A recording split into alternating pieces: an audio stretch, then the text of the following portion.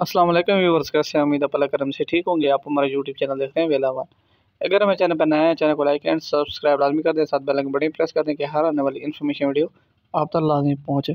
तो आज आपको गंदम के जो रेट है दो हज़ार चौबीस का तो उसके बारे में अपडेट करते हैं कि क्या चार हज़ार ही रहेगा या चार हज़ार सात सौ रुपये रेट होगा। क्योंकि आपको पता है, जो हुकूमत ने रिलीज़ प्राइस की है, वो तकरीबन चार हज़ार सात सौ। और जो चौबीस के गंदम का सीज़न सीज़न रेट है, वो उन्होंने सिर्फ़ चार हज़ार ही रखा है। तो इसके बारे में बड़ी खबर आ गई कि किसानों का किसानों को उनका हक मिलेगा या नहीं मिलेगा, क्योंकि आपको पता है कि जो डीजल की कीमतें हैं, वो भी तीन सौ प्लस हैं।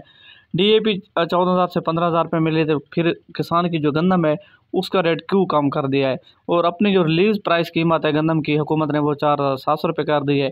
तो जो निगरान हुकूमत है, आपको पता है कि जो इलेक्शन का ऐलान हो चुका है आठ फरवरी को, और जो न्यू हुकूमत है तो इन वो तकरीबन अप्रैल में आ जाएगी। तो जो कीमत है वो गंदम की वो चार हज़ार नहीं रहेगी और इंशाल्लाह जो कीमत है न्यू कीमत प्राइस है, वो तकरीबन चार हज़ार सात सौ से लेकर पाँच हज़ार रुपये तक सीज़न में होगी।